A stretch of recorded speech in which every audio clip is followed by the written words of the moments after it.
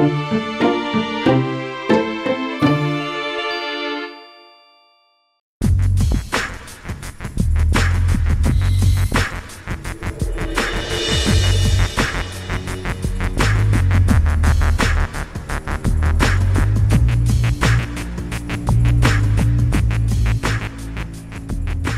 fellow detectives. Welcome to Unlocked, the official podcast for all things Nancy Drew from Her Interactive.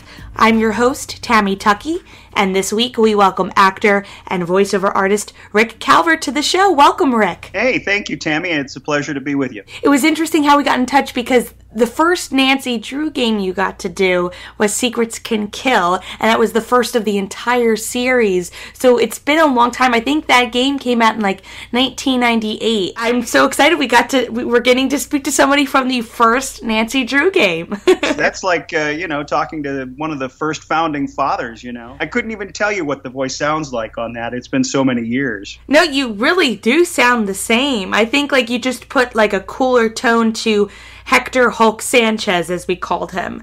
But before we kind of get into Hulk and the Secrets Can Kill game, I thought we'd talk about your beginnings in the entertainment industry. You know, what inspired you to become an actor and a voiceover actor? Boy, what a great question. You know, I have uh, always been interested in, in sound recording and doing voices. Uh, my dad was in the entertainment field and always had reel to reel tape machines, recorders. And uh, I would abscond them and take them into my closet when I was probably six or seven years old, and I started recording voices and, and playing them back. I still have tapes probably that uh, I made when I was eight, nine years old, but I don't have machines to, to play them on anymore, so makes it a little difficult. But I've I've always I've always been uh, interested in voices. It's just something that I've that I've always done. To to be able to do voiceover, um, you would always have to have a studio. You'd have to have you know studio availability. Then you'd go in and record. You'd have to pay for the studio time, and and so it made uh, voiceover actors quite an exclusive group. And then over the years, as technology advanced, suddenly you had everyone setting up you know full uh, CD quality recording in their own homes. And so now it's very difficult for people who have been established as voiceover artists for many years to even compete in the field because everyone and his brother literally has a studio in his home. So it's made it a little tougher to to to stand out, I think. Um, your your specific question, what makes voiceover different than than acting, is that with voiceover, you don't have to worry about things uh, like like a stereotype.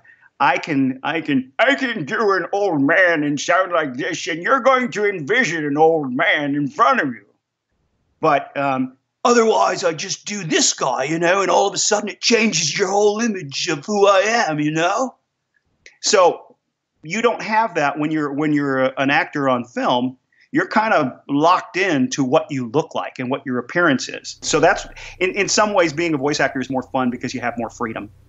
Now, with this particular game, Secrets Can Kill, as I said, it's the first one in the Nancy Drew series. So it, it, it's it's it's starting to get the groove of what exactly they want the games to be like. First of all, so how was that original process in auditioning first for you for the game? again this was uh, what 16 20 years ago? I don't even know. It was a, it was a long long time ago and it was a different world. And as far as auditioning it was a much uh, it was a much tighter circle of uh, voiceover friends.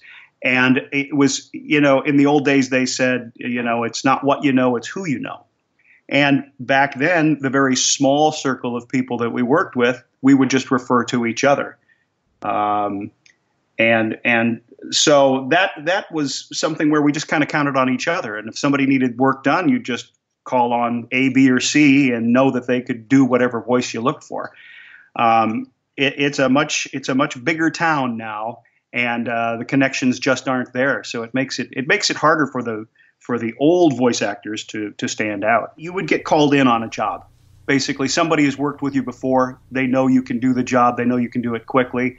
And so they just pick up the phone and say hey come on in. So as far as as far as auditioning as you do with with acting um, and, and actually quite frankly it's kind of that way as in, in acting as well is that uh, sometimes after you get established, you don't you don't really audition for things. People know you, they know what you can do, and they'll bring you in on a project.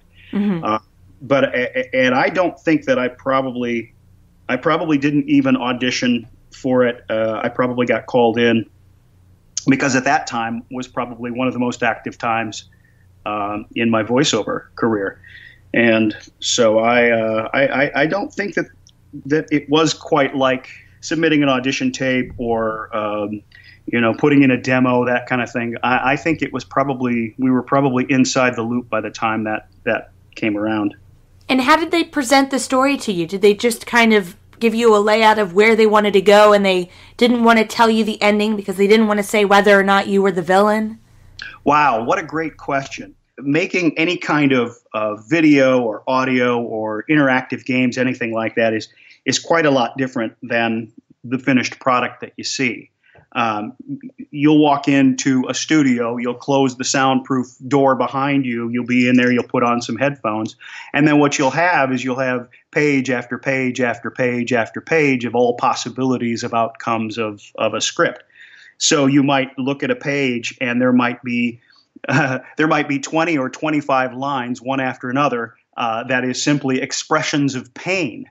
So you might go, okay, here's uh, here's one dash one. Ugh Here's one dash two. Ooh. Here's one dash three. Ah. You know, so it, it it's more like making sausage. I think uh, you don't actually get to play the thing from start to finish as if uh, it's already completed. It's it's making sausage. more or less the way it's done is that you'll be given probably an 8 by 10 sheet with a with a picture of the character you're going to be playing and then you just kind of develop into that character until until the director says, "Yeah, that sounds good," and then you just kind of stick with that character throughout. Um, and again, being voiceover, it's nice because you don't have the restrictions of saying, you know, well, you don't look like that guy at all. You create the voice in your mind to match the picture as you see him or her. You just give them variety, and uh, then they get to pick and choose. And and at that point, you know, what you're actually doing is you're giving you're giving you're an artist a voiceover person is an artist, and you give them a palette of different colors and textures and that sort of thing. And then that artist then takes it and puts their artistic touch on it. So, you know, when they talk about when they talk about voiceover, they talk about acting being quote unquote the arts it's exactly what it is. It's an art. So. And what what was your initial reaction to playing the game? You know, for the first time, getting to sit down and and play it and hear yourself in the game. You know, uh, I've been used to doing that kind of thing uh, for so many years. It's always fun. It's always fun to see yourself uh, on film or projected as a character in a video game or in a cartoon. Anything like that is always it's always fascinating. Um, and I guess different reactions at times when you'll watch something back or you'll play a game and you go, "Oh wow, I didn't expect that at all," and that's kind of a surprise. Or other things when you go, "Well, naturally, of course, that's that's the only way it could have been." Um, you know, it's it's always fun. You know, some people like listening and watching themselves, and other people don't. I've I've got the kind of ego where I'll I'll watch myself a hundred times and and just never get tired of me. But uh, yeah, and you can ask my wife, and and she will tell you she gets bored with me very quickly. And and you've been working on so much since the Nancy Drew game, and so what are some of the new projects that you've been working on? Well, I would say that uh, most recently I've I've been doing sketch comedy with a comedy group called Chain Comedy. Um, we have a we have a, a, post on YouTube. If you search Chain Comedy Hour, uh, you'll find some of the uh, sketches that we've done. Now, what makes uh, our group different is that we do spontaneous sketch comedy. You know, there's improv comedy that people do, and that's usually quite dreadful and boring. Uh, but what we do is we we get on stage. Uh, if you've ever seen the the old show uh, Whose Line Is It Anyway?